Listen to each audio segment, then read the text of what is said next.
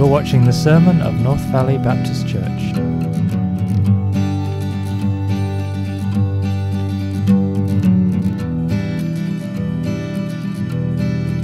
This week's sermon is preached by Pastor Scott McGrady.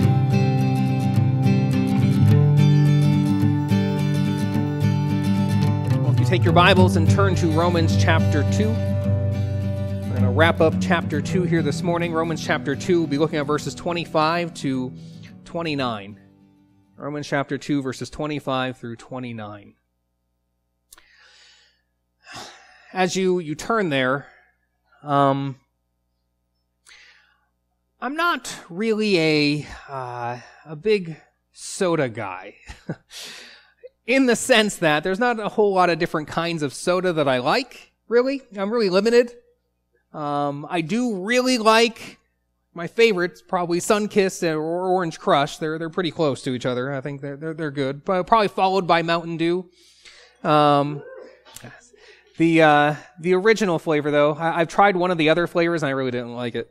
Um, but I like Sprite. I do. I like it. Um, I can drink 7 Up, but I can't even swallow root beer or birch beer or any of those cherry flavored sodas. That's. And then cream soda, that's just wrong. Um, so. But of those like three good kinds of soda, they are all the better in a glass bottle, right? Um, although as I creep closer to 40, I find that even though I do like soda, that when I drink it, I usually regret it. Usually doesn't make me feel very good. Um, but nonetheless, I, I, can get pretty excited if you were to hand me a cold glass bottle of Sunkist or Crush. But what a dirty trick it would be to hand me a bottle with a Sunkist label on it, only for when I took my first gulp, I find out it's really creamsicle soda inside. And that's just, ugh. And I would look to you and say, how mean was that? And you may say, what, do you mean? It's a bottle of Sunkist. I'll say, no, it's not. It's nasty cream soda. And you might point to the label and insist, no, it's Sunkist. That's what the label says. Well, guess what? I'm not really going to care what the label says when what's in the bottle is gross cream soda. What good is the label when it doesn't match the content inside the bottle? The label at that point is useless. And in a silly little way, that illustrates the point that we see in the text. Not about wrong labels on bottles, but the external label not matching the internal reality. That's what we see in our text as we keep working our way through Romans, remember, Paul is showing how the gospel is the power of God for salvation to all who believe, to the Jew first and also to the Greek. And the gospel is the power of God, for in it, the righteousness from God is revealed from faith to faith. And so in uh, defending this thesis, and so showing the necessity of the righteousness from God that's revealed in the gospel, Paul has been showing how Gentiles, he starts in chapter 1, showing how Gentiles are without righteousness and so in need of this righteousness from God. And then as we've gotten into chapter 2, specifically as we got to verse 17, Paul began to show how the Jews are also unrighteous. And so they are in need of this righteousness from God because as Jesus said in the Gospels, without righteousness, no one will enter the kingdom of heaven.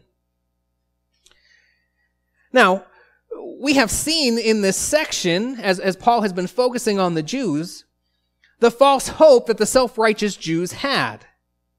As Paul had been showing how the Jews would really be no better off in the coming judgment than Gentiles. And Paul effectively showed how all they were hoping in was, again, a false hope. So they hoped in the things that we went over. And Paul said that, that one is called a Jew. that They're identified with the people of God. And they rested on the law and they boasted in God. But they did not keep his law. And though they saw themselves as teachers of others, they didn't teach themselves. They, they didn't practice what they preached. Showing then that they really did not know God. And though they boasted in him, Their false hope led to hypocrisy that led to God being blasphemed among the Gentiles. So that's what we've, we've gone over as we've been studying through Romans. Now, as we come to this text here this morning, Paul continues to show that the mere possession of the law really means nothing if you do not keep the law. And so he's building on that. And as we come to verse 25, he comes to a specific command that's in the law. This command that is a sign for the Jews' participation in the cho- chosen nation, a sign of the Abrahamic covenant, which is circumcision.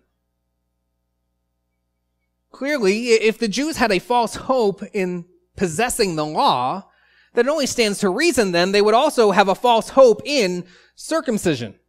In thinking that this mark uh, of being the people of God, this, this external mark of the Abrahamic covenant would keep them from God's wrath and judgment.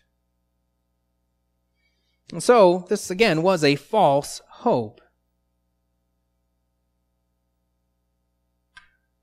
And so, again, Paul is showing that just because you have the law, or now too, just because you have circumcision, all of that really means nothing if you do not obey the law. And in not obeying the law, you show that the internal reality that the external sign of circumcision was supposed to show really didn't exist. And so that's what we see here in this passage. So if you would, read along with me as I read Romans chapter 2, verses 25 through 29. For circumcision indeed is of value if you obey the law. But if you break the law, your circumcision becomes uncircumcision. So if a man who is uncircumcised keeps the precepts of the law, will not his uncircumcision be regarded as circumcision? Then he who is physically uncircumcised but keeps the law will condemn you who have the written code and circumcision but break the law. For no one is a Jew who is merely one outwardly, nor is circumcision outward and physical. But a Jew is one inwardly, and circumcision is a matter of the heart, by the Spirit, not by the letter. His praise is not from man, but from God. So provided in the law was circumcision. And circumcision was first commanded when God reassured Abraham that he was going to fulfill the promises he made in the covenant that he made with Abraham.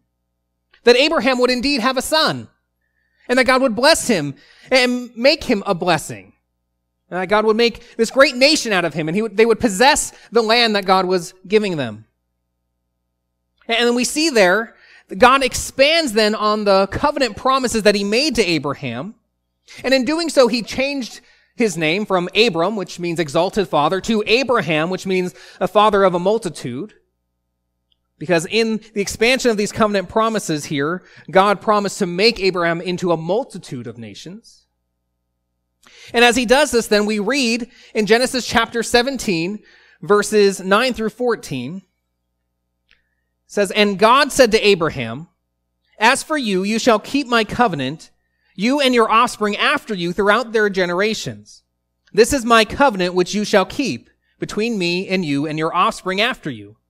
Every male among you shall be circumcised. You shall be circumcised in the flesh of your foreskin, and that sh- it shall be a sign of the covenant between me and you. He who is eight days old among you shall be circumcised. Every male throughout your generations, whether born in your house or brought with, bought with your money from an, any foreigner who is not of your offspring, both he who is born in your house and he who is bought with your money shall surely be circumcised. So shall my covenant be in your flesh, an everlasting covenant. Any uncircumcised male who is not circumcised in the flesh of his foreskin shall be cut off from his people he has broken my covenant. So this was a sign of God's covenant with Abraham and his descendants. And as we discussed in our study of Abraham's life over the summer, God's covenant with Abraham was unconditional. And so God was going to do exactly what he said. And it all relied on God to do exactly what he said he would do. God would make Abraham into a great nation. God would bless him and his offspring. and his descendants, that great nation Israel, would be blessed in order that they would be a blessing to all the families of the earth. God was going to do it. It was unconditional. And not only did we see that this was an unconditional covenant, but it was also an everlasting covenant for Abraham and his descendants. Though, as we discussed in the summer, not all of Abraham's descendants would partake in this. But for each individual to know the blessings of the Abrahamic covenant, they had responsibility. And one of those we see was in the keeping of circumcision. And it is a sign. And it's, it's remarkable as you think about all of this that this was something that marked the male's reproductive organ. And as you think about it, it makes perfect sense as the covenant included seed. Uh, and, so for the descendants of Abraham, and, and this was to be extended through the generations, distinguishing a person as a member of the covenant promises. And since it was such a private mark, it will remind that individual of who they were. That you are a descendant of Abraham. You are an Israelite. You're not an Egyptian. You're not a Philistine. You're not a Persian. You are an Israelite. You are named among God's chosen people. And this was instilled in the law that was passed down from God through Moses. As we read in Leviticus chapter 12 verses 1 to 3, the Lord spoke to Moses saying, Speak to the people of Israel saying, If a woman conceives and bears a male child, then she shall be unclean seven days. As at the time of her menstruation, she shall be unclean.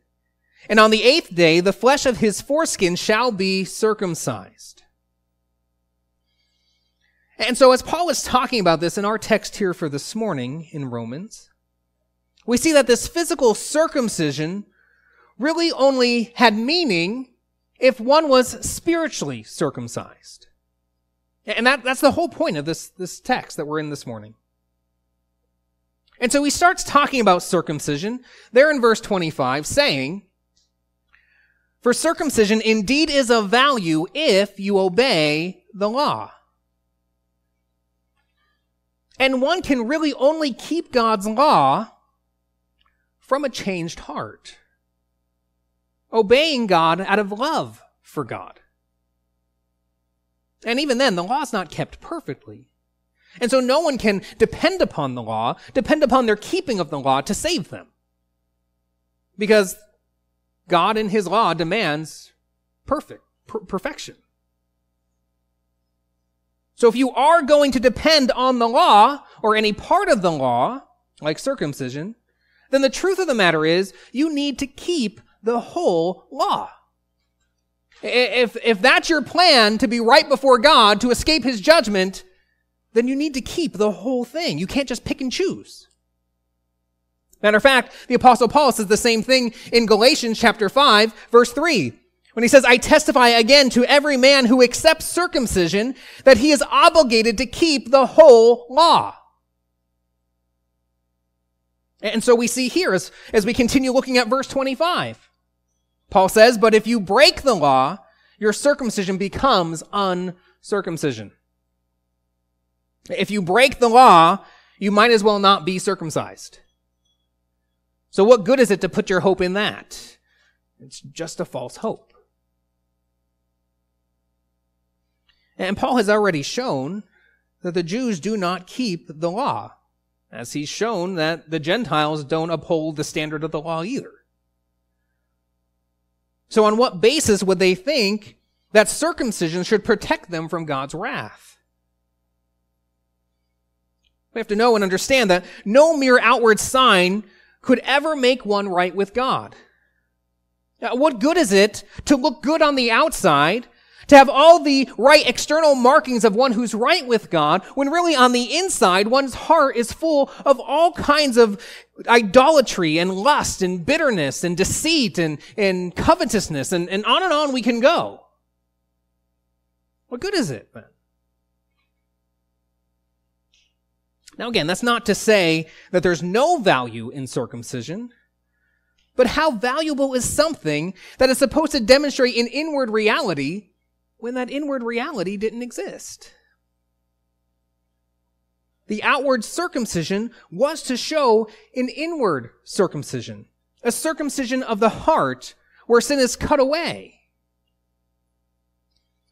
In the book of Deuteronomy, and the word Deuteronomy means the second law or the second giving of the law. And it's there in Deuteronomy that Moses is reiterating the law and the covenant promises and curses, reestablishing that covenant with the children of the generation that came out of Egypt after that generation died off. Uh, because that generation did not obey God. When God first brought them to the promised land and told them to take it, they disobeyed. And so God made them wander in the wilderness for 40 years. And then in that time too, all they did was grumble and they rebelled against God and they did not circumcise their children. And so now before going into the land, as Moses is speaking to their children, he's reiterating the law and establishing, reestablishing the covenant with them. And so that's what we see going on there. And so we read then in Deuteronomy chapter 10 verse 16, Moses says, Circumcise therefore the foreskin of your heart and be no longer stubborn. And so we see this as the idea of the inward circumcision. One's outward religiosity that is not from the heart is no better than those who do not have an outward sign. And therefore, as Paul is addressing the Jews in this, such a Jew might as well just be a Gentile. Because it's not going to do anything for them. And listen, as we understand and know from what scripture says that salvation for us as Gentiles is the same as it is for the Jews, and salvation in the New Testament is the same as it is in the Old Testament, as we see that and know that, we can take these things and apply it to ourselves as well. And therefore we should ask such questions as, what good is my baptism? Or what good is receiving communion? Or my church membership? or responding to an altar call, or signing the card, or, or raising my hand because the preacher said to. I see that hand back there. What good is all of that external things when it does not affect the heart? If it brings no conviction of sin, no mourning over one's sin, it brings no love for God, and so therefore no love for the things that God loves, it brings about no, no desire to honor him with our lives, and so brings about joyous obedience to him. If it doesn't do any of that, what's the point? What good is it? If instead all our outward religiosity does with an uncircumcised heart is allow us to remain in our sin, loving our sin instead of loving God, and so being stiff-necked and stubborn, refusing to submit to our Lord. What good is that? And really, though, the truth is, such a heart change, such circumcision of the heart, this, what is conversion really, is something that ultimately the Lord does by his sovereignty. Again, in Deuteronomy chapter 30, verse 6, we read this. And the Lord your God will circumcise your heart and the heart of your offspring so that you will love the Lord your God with all your heart and with all your soul, that you may live. Apart from this work of God to circumcise the heart, what is dead in their sin. They're separated from God in their sin. And so really what we're talking about here is the work of God to bring spiritual life. That a person would then repent and believe and again, it's the same in the Old Testament. It's right there.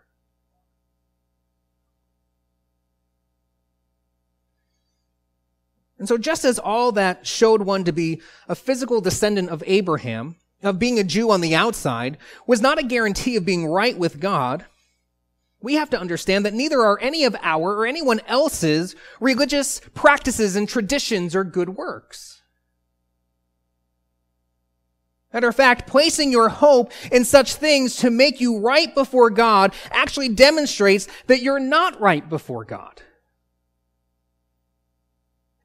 Because if you do not keep God's law, if you do not keep his standard of righteousness, then despite any of these things, you have no righteousness. I mean, what have we already read Paul said earlier in Romans? It is the doers of the law who will be justified.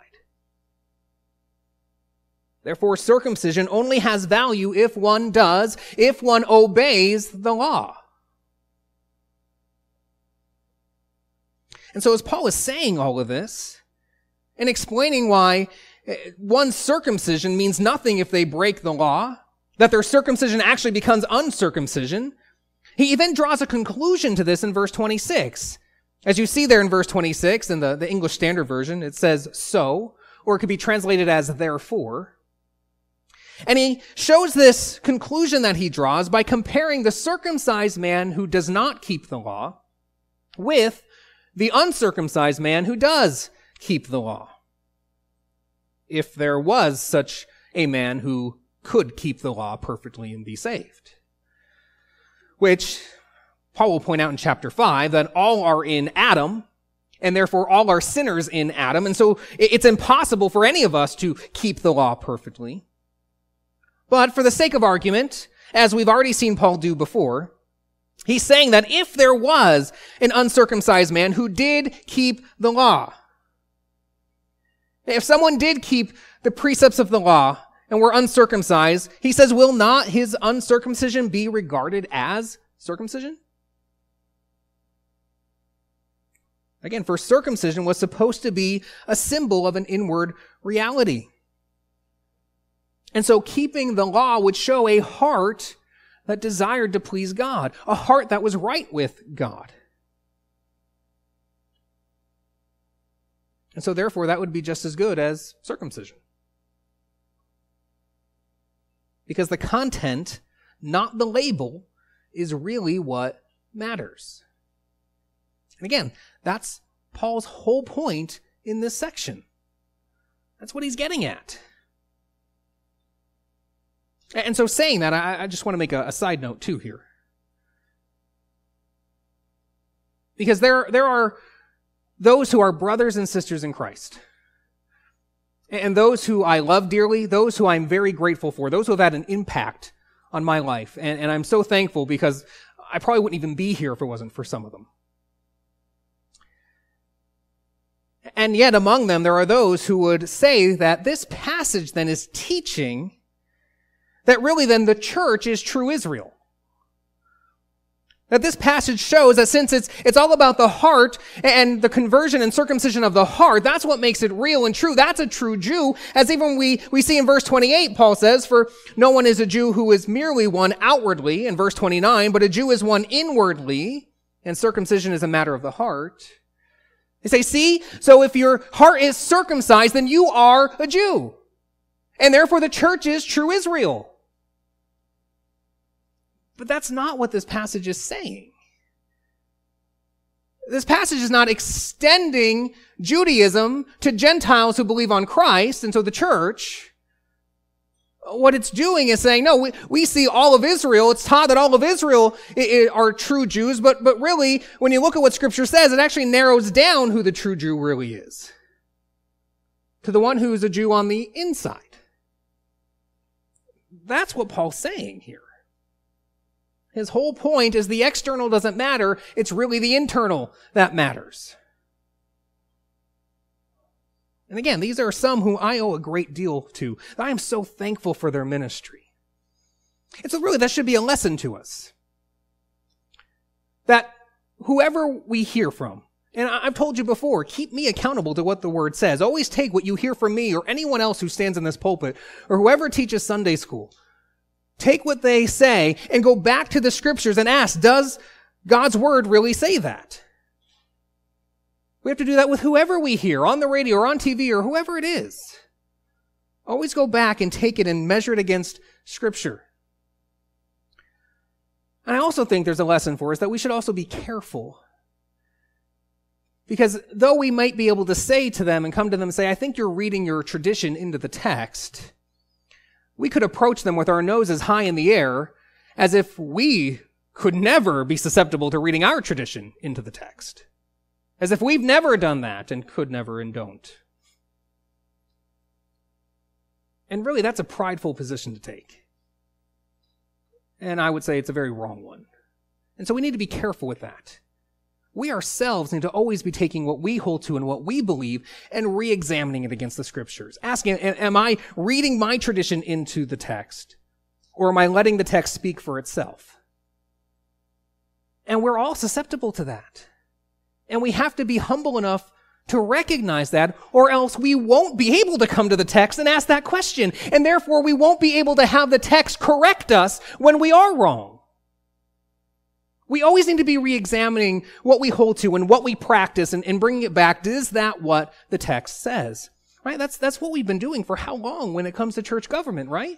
We've been asking, is that our tradition that we've read into the text or is that what the text says?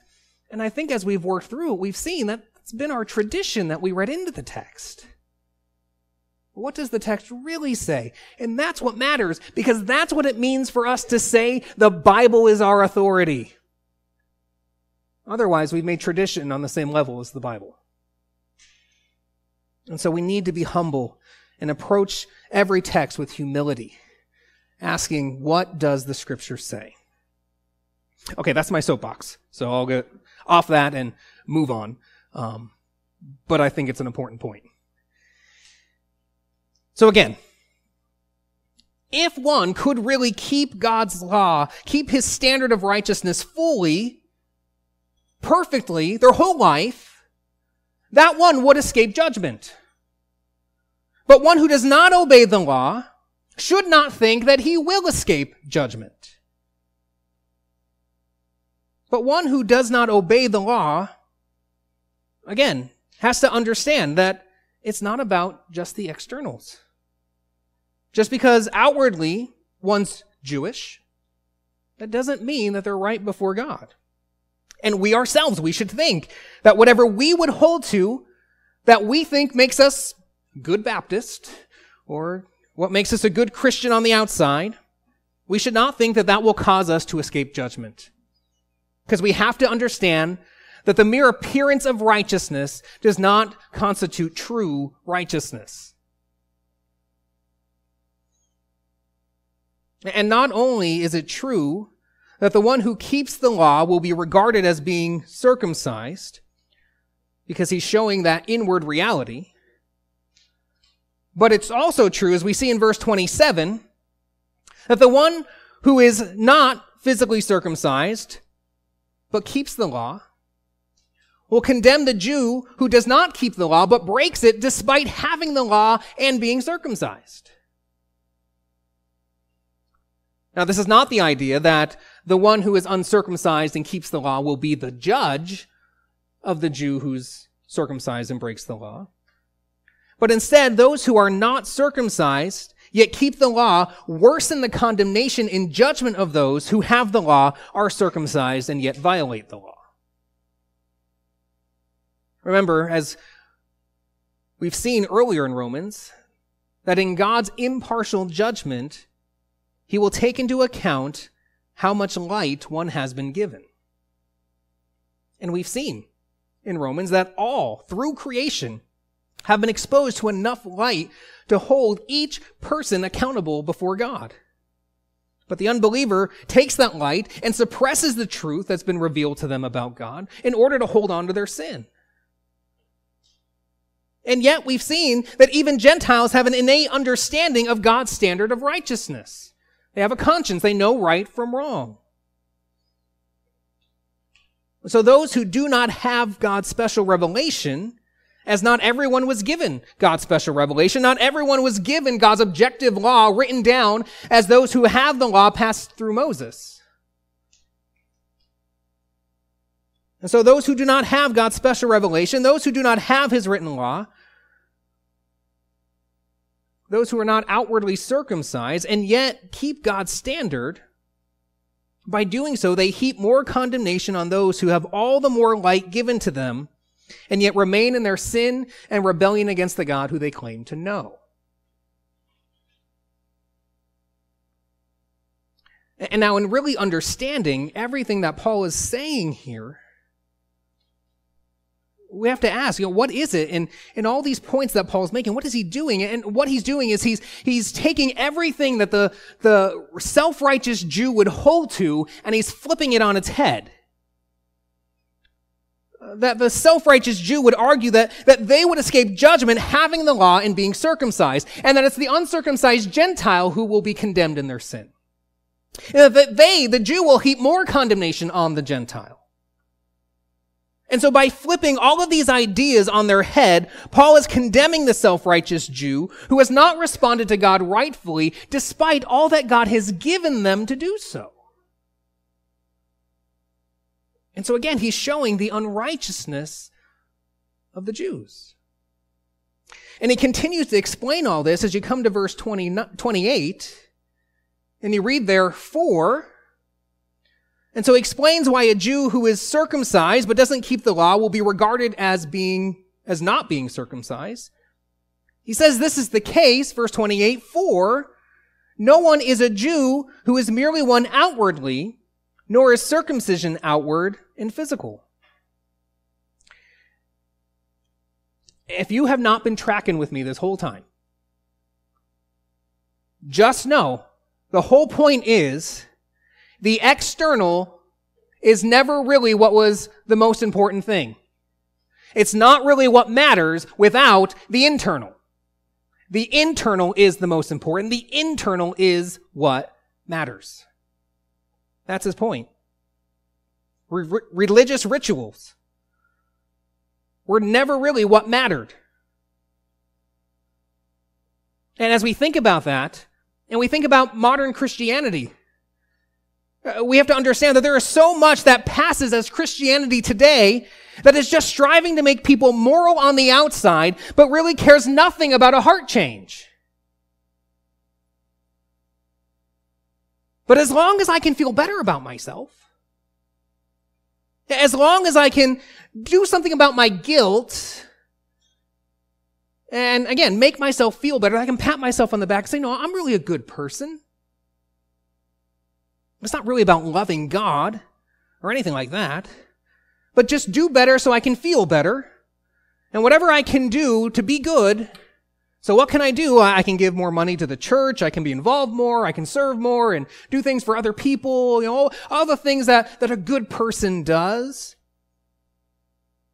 I can do, do, do, do on the outside while completely ignoring the heart of the matter, which is the heart. And that is not true Christianity. Not at all. Actually, it's pride. That's what that is. And very often it leads to despair because no matter how much I do, I find I can never do enough. The inward reality is what matters. And so mere religiosity is not the answer. And mere external behavior is not the answer either.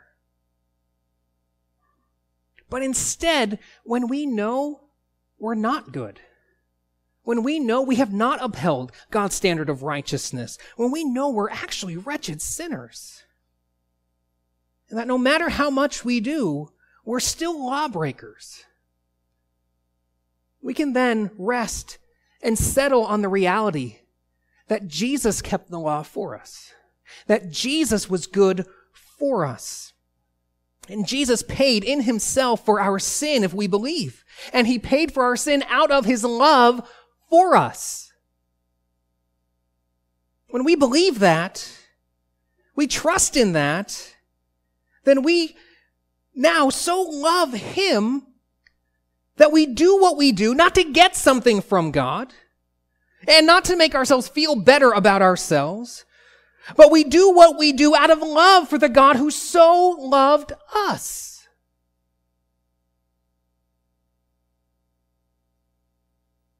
And so a Jew is really not a Jew if he's only one externally. Because if he hasn't seen what the holy, righteous God has done for him through his Messiah, his heart remains unchanged. And so verse 29 says, But a Jew is one inwardly, and circumcision is a matter of the heart. And so whether Jew or Gentile, we all have to ask ourselves, has there been a heart change? Is there an inward difference? Or if the reality is at the core of who we are, we've remained what we've always been. And my friends, the only thing that will make the true difference, that inward difference, is the gospel. It's the work of Jesus Christ. It's his life, death, and resurrection. It's clinging by faith to all who Jesus is and all that he has done. All that he's done to save us, to make us his own. It's putting away any thought of any effort and any work of our own, any of our religious practices, even biblical ones. Remember, God is the one who prescribed circumcision. God's the one who prescribed baptism and communion and the gathering of the church, and yet none of those can save us. None of those can make us right with God.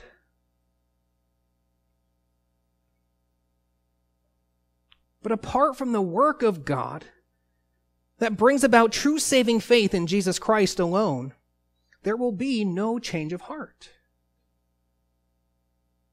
One's practice and behavior that changes to meet an external standard and tries to establish one's own righteousness to be saved leads to hypocrisy, as we went over last time in Romans. And also, too, it's a change that has no gumption to last.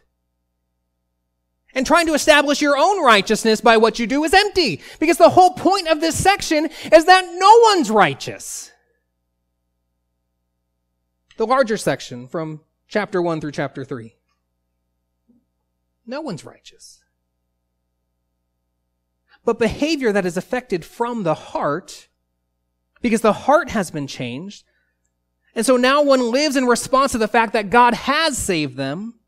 God has credited them with the righteousness that comes from Him through Jesus Christ by faith, they live from a changed heart, which looks like love for God and a desire to please God, longing to know God more and more, and living in great anticipation of that day when we're with God forever. I mean, if we love Him, don't we want to be with Him? Isn't that our great joy and longing? And so we live in light of that day. And that's the change that takes you from loving your sin, coddling it, living in habitual sin, to declaring war on your sin. Hating it, hating whatever sin remains. Because you take joy in obeying your Lord and honoring Him with your life. And that's your deepest desire. And again, this takes the work of God. This is not something we can naturally bring about in ourselves. And it takes the work of God, as we see there in verse 29, that it tells us that this inward reality, the circumcision of the heart, is done by the Spirit, not the letter. It's not the written law that was handed down through Moses. That really gave no power to keep the standard. But the change of heart is the work of God, writing God's standard, writing God's law on your heart, which is the idea of giving you the desire and the proper motivation to fulfill that standard. Though we still do not fulfill it perfectly, we still wrestle with sin. But it's out of a changed heart that we grow in it being more and more the pattern of our lives in obeying Him and putting off sin. Because we love Him and we want to honor Him. And so we seek to obey joyously out of that love for Him, rather than striving in our own strength for our own righteousness or to make ourselves feel better or so we can tell ourselves we're, we're religious. Which, what good is that? And so, in all of this, then, all the hypocrisy that comes with putting your hope in a false hope, like again, we went over last time, uh, this change of heart tears down that hypocrisy. Because now instead of one's praises coming from man and that be what we're seeking, now one's praises comes from God. See, one who was Jewish and had all of the, the outward appearance of being Jew, being a Jew, he would be applauded, he would be praised by another Jew. And, and that's what he would seek out. At least the self-righteous Jew would. Just as we in our sin would do the same thing in seeking out the approval of men and living in the fear of men. But instead of doing the things for the praises of people, doing the things to please people, the things that are done from a circumcised heart are the things that are done to please God. And they are the things that receive his praises. And so listen, listen. If you receive praises from God, who cares if people praise you? If what you do is pleasing to God, who cares if people are pleased with you or not? What matters is pleasing God. And if we seek to live our lives for the praises of men, we're living our lives in idolatry. God's praises are what matters. You know, there, there are those who uh, w- would say that there's a, a play on words going on here. Because as we've discussed before, the, the name Jew means praise. And so the Jew who is truly a Jew, not just one externally, but internally, his praises is not from man, but from God. And that is the desire of every changed heart. And listen, these are things that we've got to get straight. Because there is a great danger in external religiosity. There's a great danger in good works and, and trying to be a good person or a good Christian. There's great danger in our religious heritage and, and whatever else we might be able to claim for ourselves. Because all of that can easily be mistaken for true Christianity. It can be even so self deceived that we claim to be trusting in Christ alone for our salvation. And we can even know all of the right things to say. But truly, at the heart of our faith, we are trusting in our outward appearance. And what others think of us, in all that we do while our hearts remain hard as stone towards the God we claim to serve. As we remain unconverted in our cold dead religion, as we continue to love our sin and so not love God, that our motives are not to please Him, but as long as I can outwardly maintain the external appearance of what a good Christian is supposed to be, we can tell ourselves we have true saving faith as we remain comfortable in our sin, what is often secret sins. But all whom God saves, all who have faith in Jesus Christ and in Christ alone to save them, they have a circumcised heart. We read Paul's words in Colossians chapter 2 verses 11 to 14. It says, In him also you were circumcised with a circumcision made without hands. That's that internal, the spiritual circumcision. And Paul says here, it's by putting off the body of the flesh, by the circumcision of Christ. Having been buried with him in baptism, and this too is spiritual baptism, uh, not water baptism, which again is, is just as useless as physical circumcision to save you. But remember, the word baptize means to immerse.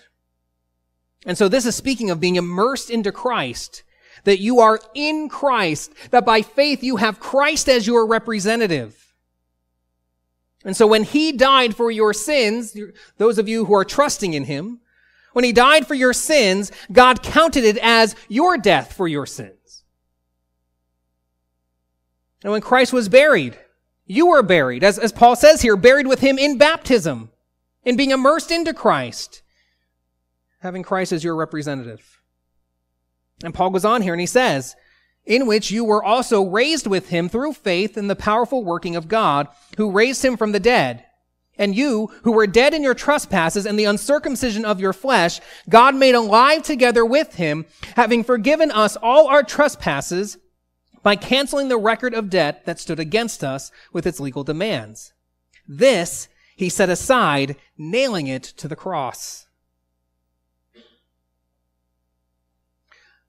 So when we have Christ's saving work credited to us by faith, that we would be saved with the debt of our sin wiped clean because of the work of Christ, all those whom Christ in his work represents, they have circumcised hearts. They have new hearts. And that is what matters. These are those who are truly saved.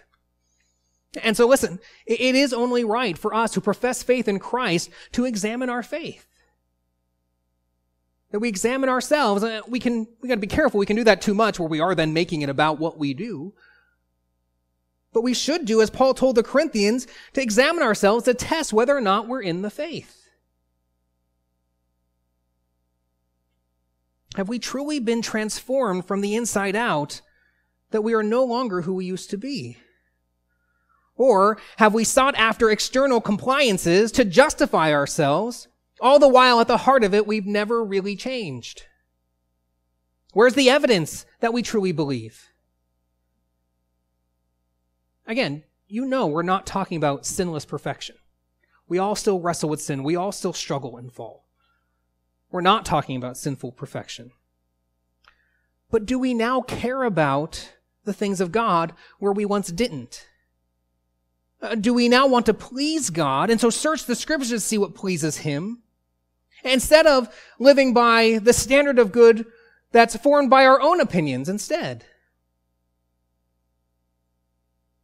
Do you live a life that's based on, well, you know, I just feel, or I think that, instead of searching out what God has revealed in His Word that pleases Him? Do you hate your sin? And not just hate the consequences of your sin, but do you hate that you have offended the holy God who has so loved you? You hate it because you love him. And you're so grateful for all that he has done to save you, to forgive you, to pay for your sin, to make you alive in Christ. Is there a circumcision of the heart showing itself in the warring against your sin and the pursuit of holiness? Brothers and sisters, are you a Christian outwardly only? Because it's the inward reality that counts. And if you look and find that there is no inward reality, if your heart has not been changed, friends, if you are resting in anything about you, instead of resting in the finished work of Jesus Christ for your salvation and your right standing before God, then I plead with you, turn away from, even hate any notion that there can be anything in you that will make you right before God, that anything about you will save you, any religiosity or any works that you do. Turn away from it all. Because it will not save you when you stand before God in judgment. Instead, trust in Christ and in Christ alone to save you. Trust that He was righteous for you. Trust that He paid for your sin in His suffering and death on the cross. Trust in His life, death, and resurrection. Trust in Him and you will be saved. And being right before God, again, it is not religious rituals or heritage or any external label. But salvation is a matter of the heart. And salvation is in the heart of all of those who trust in Jesus Christ alone for salvation. So trust in Him and you will be saved pray. For the complete sermon archive and more information about the church, please go to visit visitnvbc.com.